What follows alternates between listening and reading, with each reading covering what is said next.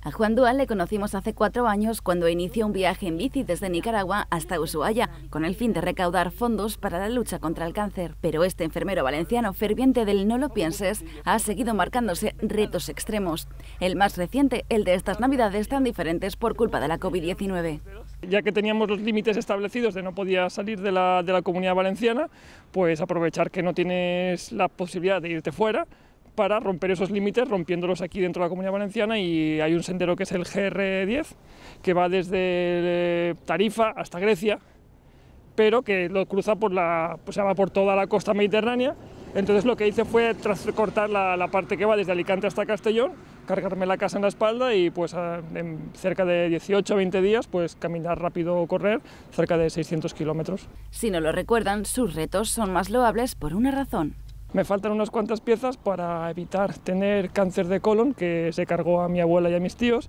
A Juan le extirparon el colon y el recto por el síndrome de poliposis múltiple familiar y poco después le quitaron el estómago. Su espíritu aventurero fue el bastión de su recuperación y sus objetivos, propios del carácter enfermero, le ayudan en dos cosas sorprenderme a mí mismo y sorprender a la gente que tengo alrededor y de paso pues también tratar de motivar a la gente. Si una persona vacía, como, como estoy yo, entre comillas, puede recorrer cerca de 10.000 kilómetros a lo largo de Latinoamérica, de que no somos capaces cada uno en nuestras casas y en nuestros casos. O sea, no hace falta correr una ultramaratón ni recorrer Latinoamérica, pero tratar de buscar ese tipo de actividad que pueda hacer un poco que te rompa y que te active pues precisamente algo así como una ultramaratón es su siguiente reto.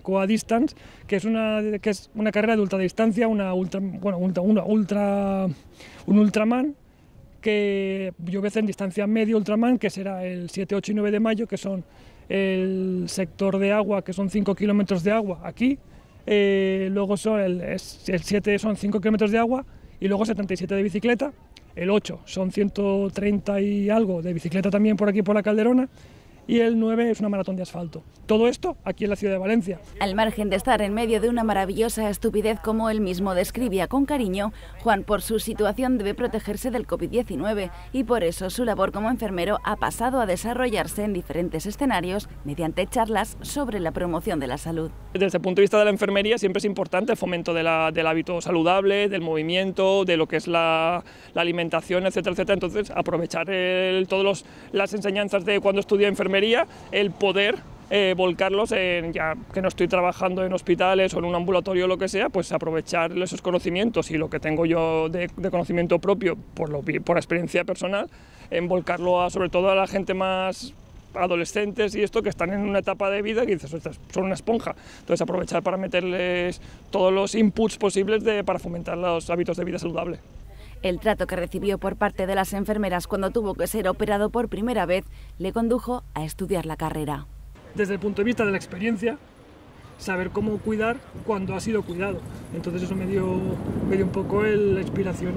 Mientras entrena para su siguiente prueba de fuego, Juan disfruta de cosas como un amanecer a las 5 de la mañana y también de motivar a los demás a no ponerse barreras, a probar cosas nuevas y excluir lo que no satisfaga y buscar aquel hobby que dé sentido al día a día. Así cuida Juan de las personas y así se cuida él, el mejor espejo de la promoción de la salud.